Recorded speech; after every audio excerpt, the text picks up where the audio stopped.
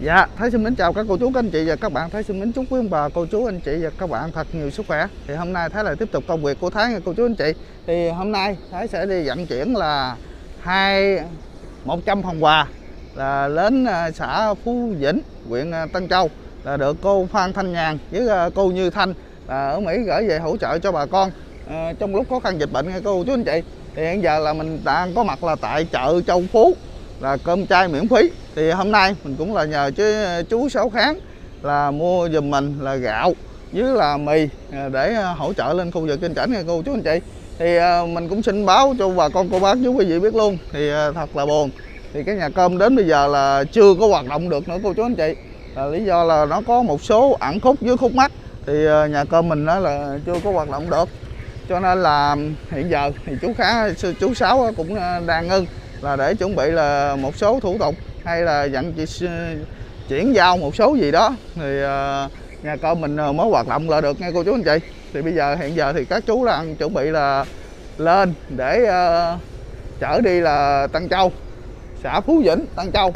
Thì uh, cái phần hôm nay uh, phần quà thì nó quyết hơn nghe cô chú anh chị. Thì một là bao gạo là 20 kg đây 20 kg nặng lắm. Thì các chú là đang dắt lên đây một bao gạo 20 kg với ờ, một thùng mì là một phần quà. Nó thì ờ, hôm nay thì ờ, do là gạo này chú sáu ông mua sẵn rồi thì cho nên là mình buộc phải nhờ là chú út à, vận chuyển lên trả luôn. Nó là mỗi một phần là hai tấn gạo với là 100 thùng 100 thùng mì nha cô chú. Thì cái tiền cái này thì cô Thanh Nhàn với cô Như Thanh có là hỗ trợ tiền tiền xe. Thì ờ, hôm nay mình ờ, đi lên trển ờ, thì mình sẽ hỗ trợ cái phần tiền xe này luôn cho chú Hải luôn. Thì gạo này thì nó 2 tấn thì nó trị giá là 24 triệu. Với với mì mì nó là 8 triệu nữa nghe cô chú anh chị. Là, là 32 triệu. Rồi tiền xăng tiền hỗ trợ tiền xe thêm một triệu nữa. Rồi tổng cộng cái số tiền hôm nay là cô Phan Thanh Nhàn với cô Như Thanh hỗ trợ là 33 triệu là tổng cộng nha cô chú anh chị. Đó, thì à, bây giờ các chú đang lên. Thì à, bao gạo này quyết lắm. Nó một bao là 20 kg và già là giác là hơi chua đó. Thì cái phần gạo này thì một gia đình là có thể là ăn là được à, gần nửa tháng đó. Đầy xe là hai tấn. Đây mì thì cô phân Văn Nhàn với cô Như Thanh là cho mì chay luôn nha cô chú anh chị đó, mì chay này thì một thùng đó là 80 ngàn. Mì chay. Mì chay tầm cẩm.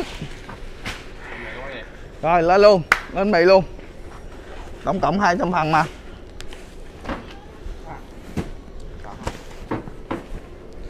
Thì uh, lên địa điểm là cái khu vực là Tân Châu.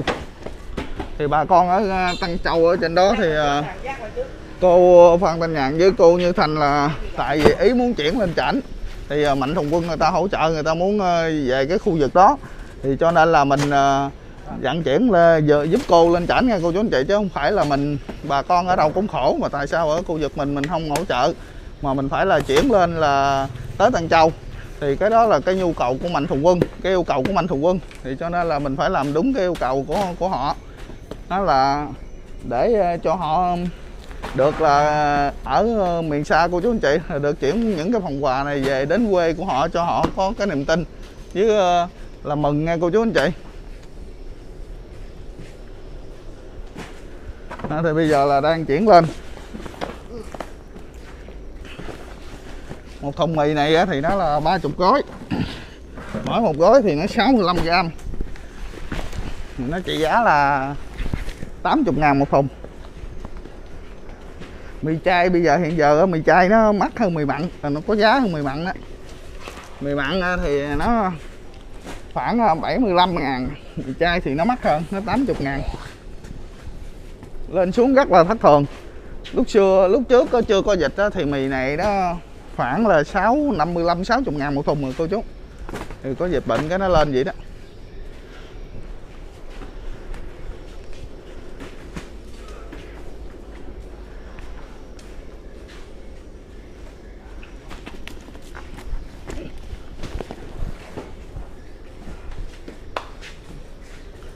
Thì uh, bây giờ gạo với mì mình đã lên xong rồi nha.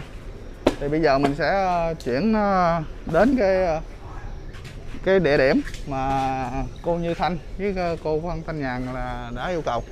Thì bây giờ xin phép bà con cô chú mình lên đường nha.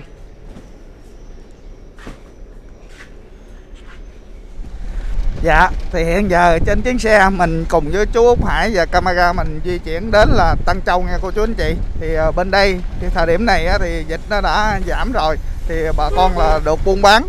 Thì ờ, bên cái ờ, địa phương này thì đa số là người dân tộc chăm nhiều. Thì quý vị và cô chú đi trên đường thì thấy bao xung quanh dọc dọc người ta hay làm là mấy cái chả đó cô chú anh chị người ta treo lòng đồng lòng đồng và mấy cái chả đó là toàn bộ là chả thịt bò. Đó. thì hiện giờ đó là mình đã tới cái địa phận Tân Châu. Thì khoảng 15 à, cây số nữa là đến cái chỗ là cô ờ, Thanh Nhàn với cô Như Thanh là giao gạo cho một người ờ, cho một ờ, cháu của cô ở gần đó nha. Thì mình hôm nay thì có cái trách nhiệm là vận chuyển. Thì cái ờ, phần gạo này thì đáng lẽ là của nhà máy người ta sẽ đem đến người ta giao luôn. Nhưng mà do hôm nay kẹt xe thì ờ, người ta nói là hôm nay người ta đi không được.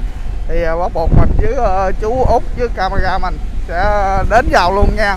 Thì cái phần tiền thì cô thanh có gỡ cái chi phí là nhà máy người ta ăn cái tiền vận chuyển là từ cái chỗ chú số kháng á đi lên tới cái uh, giao gạo là một triệu thì cái phần này thì một chút nữa thì mình cũng ờ, sẽ gỡ luôn cho chú sáu.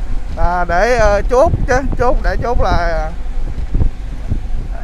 đổ dầu với là chi phí ờ, cái tiền để xe nha cô chú anh chị. Thì cặp à, thì bao khu, khu anh xung quanh đây hai bên là đa số là người chăm nha. Thì An Giang mình nó cũng rất là nhiều dân tộc thì hai bên nó xôm tụ xôm tụ lại rồi tại vì lúc trước là do cái tình hình dịch bệnh là cái đường này mình chạy qua không được. Lúc mà mình về cô chú nếu như mà dịch nó bùng phát mình về là bắt buộc là phải cách ly luôn tại nhà là 14 ngày cho nên là anh em không dám đi. Thì hôm nay nói chung ra thì uh, ba chú cháu thì người nào cũng được là hai mũi là chích ngừa được hai mũi hết rồi hơn uh, một tháng rồi cho nên là cái độ an toàn nó cũng có. Thì cho nên là cố gắng là đi để là giúp đỡ được cho bà con phần nào thì tốt phần nấy nha cô chú anh chị.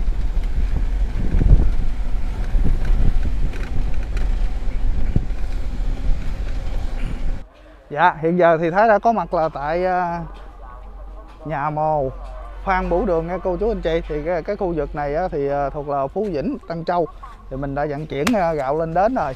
Thì ờ, đây là mì. Thì ờ, hôm nay thì ờ, cô Như Thanh với cô Phan Thanh Nhàn gửi vô cho gia đình là để hỗ trợ cho bà con khó khăn. Mì với là gạo.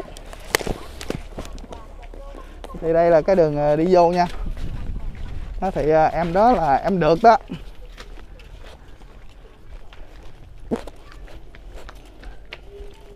Đây cái đường đi vô nhà thì rất là đẹp. Thì để ở ngoài cái phần à, nhà màu này luôn.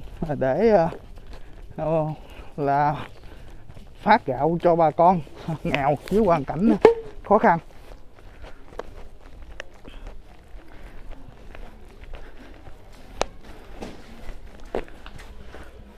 Mì này cũng không có phân bì được nè. Mì ngon với mì ờ, mì dở khác nhau.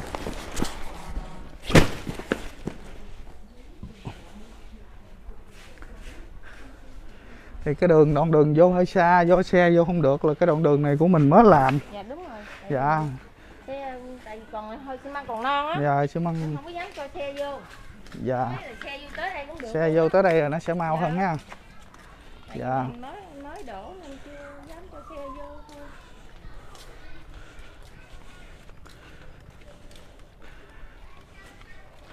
Buồn thiệt thì uh, cô như thanh phan thanh nhàn cũng ờ, thông cảm nha, tại vì gạo mỗi một ờ, địa phương nó khác nhau. Rồi thái ờ, thì mua cái chỗ là cái nhà máy người ta sản xuất ra, không có to, thông qua cái chi phí. Thứ nhất là không có chi phí chuyên chở cái thứ hai là nhà máy người ta sẽ bán với cái giá là hỗ trợ cho bà con nữa. Chẳng hạn như gạo này á, nếu như mà mình mua ở ngoài á, qua lái là khoảng 14 15 ngàn. Nhưng mà mình mua tại nhà máy thì nó là 12 ngàn với hai nếu là quen nhờ chú Sáu quen á. Còn nếu như mà gạo thường thường á, cô cho trên đây là 20 ngàn là cũng đúng. Đó là những cái phần gạo ngon tùy theo loại gạo. Nhưng mà gạo này á, thì ở quê mình á, thì nhà Thái cũng ăn gạo này. Nói chung gạo này cũng ngon nhưng mà có gạo ngon hơn thì nó sẽ giá nó sẽ khác nhau nha. Cô cũng ờ, đừng, đừng, đừng có trách cháu mình. Cái đó là đúng chứ không có sai. Dạ thì bây giờ là được ờ, các anh ở đây là đến là tiếp xuống những cái phần gạo này chở vô nha cho bà con. Thì có chiếc xe này nhiều một bao hai chục ký đó nghe nặng quá đi nổi không nha? Rồi, bao hai chục đó. bao hai chục đó chứ không phải bao mười đâu. Vậy đó. Cũng kéo vô vậy đó rồi quen rồi quen rồi ha. Rồi, rồi đi đi đẩy tiếp. Lái lên kì. à, lái đi Cô hết rồi, chị non cô. Hôm qua tới bữa nay là khô rồi. Đó. Vậy đó ha. Dạ. Dạ. Tính bữa ờ, 29 lận nhưng mà cô nói ờ, nhạn nó không có ở không bữa nay nó mới ở không. Được á. Dạ. Được không?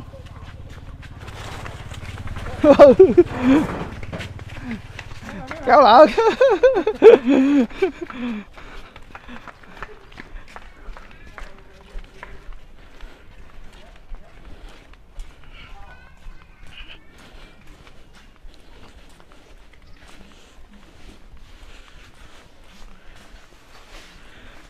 được năm nay học lớp mấy rồi được? Mới lớp 10 hả? Lớp 10 bự với ông mai. Trong đó chứ rồi.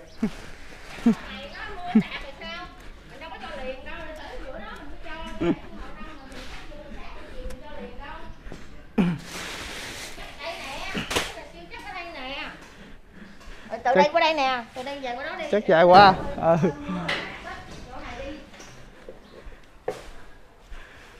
ừ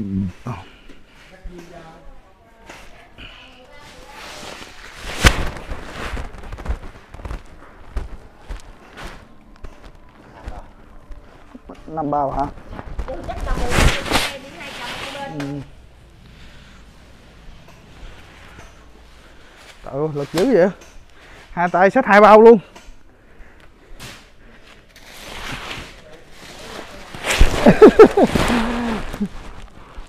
có bên pin dữ nha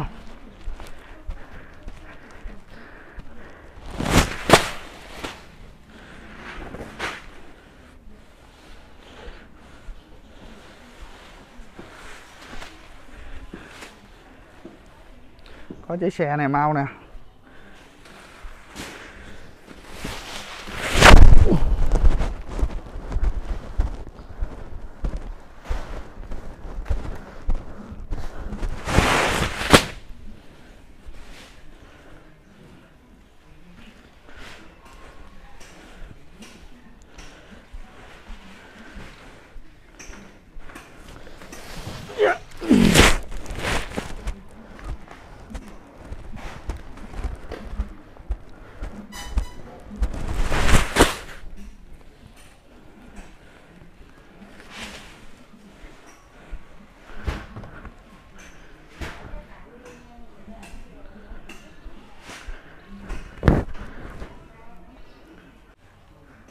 Dạ thì bây giờ thì ờ, mình đang là chuyển số gạo vô nghe cô chú anh chị. Sẵn đó là mình đưa cái phiếu này luôn cho là em được.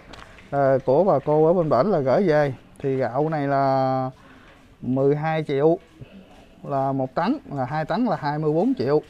Chi phí xe là nó một triệu nữa là 25 triệu ha. Rồi gạo mì thì nó 80 ngàn một thùng Về 100 thùng thì nó 8 triệu Thì tổng cộng hết là cái tiền chi phí của bà cô đó là 33 triệu ha.